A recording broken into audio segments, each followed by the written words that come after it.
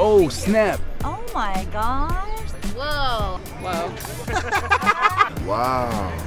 That's nice. That's actually crazy. I would say like I'm sitting in the middle section of the movie theater, like I can see the whole screen. It looks like a movie screen. I can see it, but then I can still see you. Still see my hand? Speaker working, it's just speakers here. Can you hear it? It's almost like surround sound. Oh, damn. It's fascinating. Oh my god. These are super cool. It's like a movie theater. It looks really cool. My son would love these. Oh, I can imagine these on a plane. It's a lot better than like the screen on the on the seat in front of you. Great, at least you can play games on it as well. Cause I'm tripping because it's glasses, man, but wow. Yeah, now I can see the faces. It's fun. It just feels super comfortable around your neck. It's really cool. You're playing Call of Duty on this? Minecraft if it's possible. Glasses feel comfortable. Oh, this is going to be popular. These are really, really cool.